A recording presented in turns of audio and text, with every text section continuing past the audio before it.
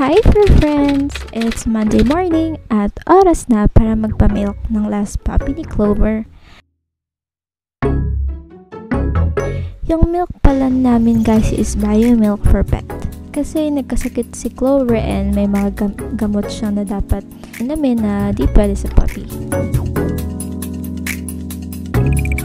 And anyway guys, um, short story. Nanganak si Clover nung August 13 at for puppy talaga yung baby. Two male and two female. Kaso namatay yung dalawa, isang male and female, the day na nanganak si Clover.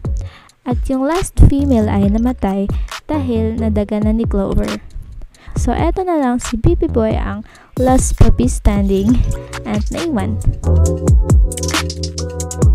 Iniiwasan namin ma-attach sa baby guys kasi ipapare-home namin to siya. Sobra na kasi mga dog sa bahay.